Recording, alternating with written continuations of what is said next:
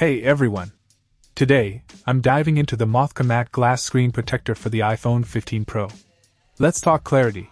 The HD Clear feature lives up to its name, offering a crisp display without sacrificing the matte finish.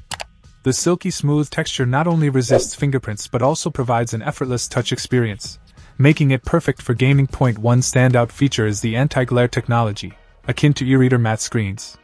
Whether you're outdoors or under bright lights, there's no annoying glare, ensuring a comfortable reading or browsing experience. The tempered glass goes beyond the standard 2.5D round edge, offering a more polished and durable feel, rated at an impressive 9H hardness. Installation is a breeze with the included alignment frame, even for beginners. The video tutorial is a helpful guide if you're unsure. The attention to detail in crafting this protector shows, providing reliable protection against scratches, daily wear, and accidental drops. In conclusion, if you're in the market for a reliable matte screen protector for your iPhone 15 Pro, the Mothca Matte Glass is worth considering. It combines clarity, smoothness, and durability, enhancing your device without compromising on protection.